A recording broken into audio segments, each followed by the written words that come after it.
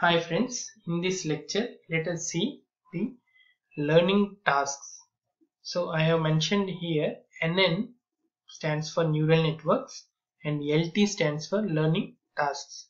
So the first learning task is pattern association. So how the pattern association will be performed by using neural network. Actually the main types of pattern association are auto pattern auto association and hetero association Actually, what is an association? An associative memory is a brain-like distributed memory that learns by association. That means, as we are keeping giving some data to the network or to the brain, it will store the data one on the other and it will keep the data as association with some other data so that it whenever you are trying to retrieve it, it will automatically retrieve the data. That's what happen in our brain and that what we need to impart in the machine. So let's move on. There are the differences between auto association and hetero association.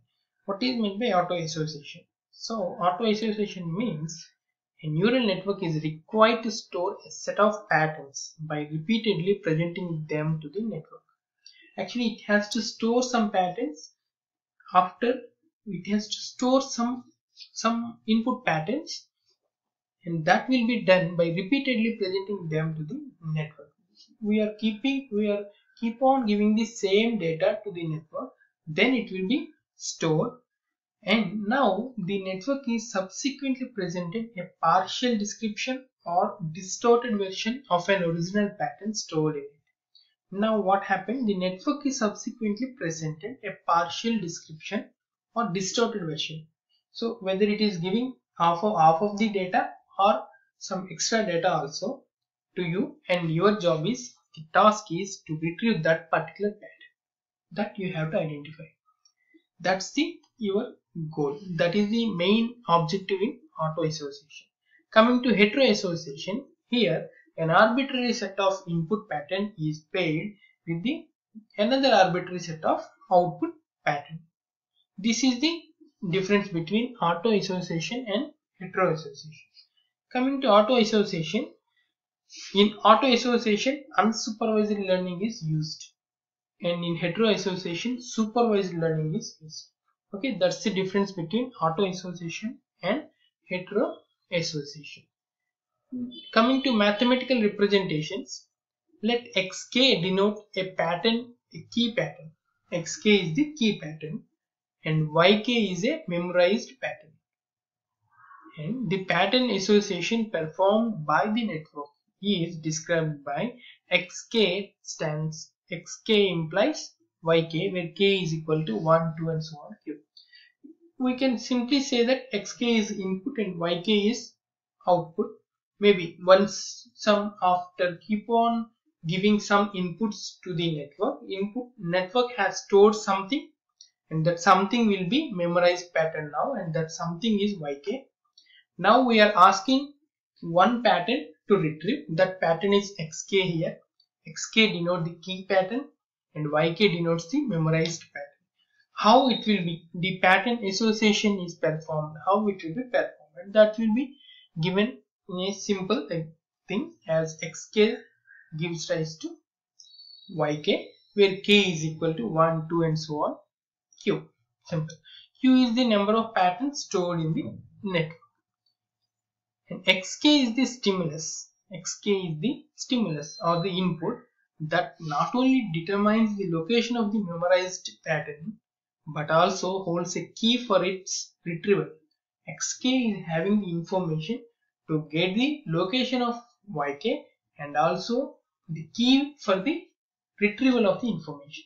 Okay, those two informations will be kept in xk that's the mathematical representation of pattern association. And based on this, again in auto association there is a difference and hetero association also there is a difference. The difference is here yk is equal to xk.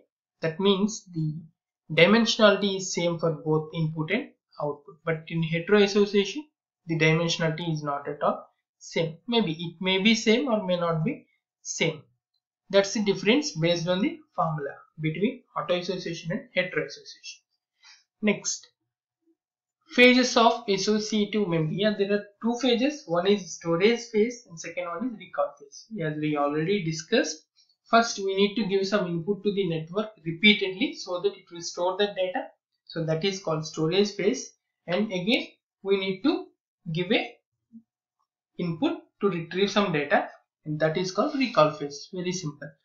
So storage phase which refers to the training of the network in accordance with the formula xk tends to yk and recall phase which involves the retrieval of a memorized pattern in response to the network. Okay, it, it, it is the recall phase involves the retrieval of the memorized pattern.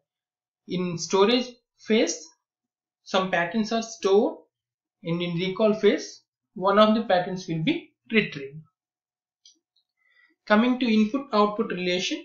So this is the pattern associator. So the input is input vector is x and output vector is y. So let let small x represents a noisy version of xj. That means xj is our particular version and x is the noisy version and it produces a response small y as shown in the figure above. So for a perfect recall, how can how can we say that it's a perfect recall? So for a perfect recall, y should be equal to yj, where yj is the memorized pattern for xj. That means x is equal to xj. If there is an error in recall, how can we declare that? If y is not equal to yj, when x is equal to x. Very simple. Simple concept. The concept is very simple. What is the concept is if xj is given, yj has to come up. If x is given, y has to come up. Simple. So for perfect recall, what we can say, y is equal to yj if x is equal to xj. For error in recall, even though x is equal to xj, you are unable to get the same pattern. So y is equal to, y is not equal to yj. That's the thing in pattern association. So these two are called one is perfect recall, second one is error recall. So this is the complete explanation of pattern association. Thank you for 300 plus subscriptions and please if you like this video please like it. If you have any doubts please write in the comment box and please share with your friends and if you haven't subscribed to my YouTube channel please do that and try to press the bell button so that you will get the notifications whenever I upload the videos. Thank you. Thank you very much.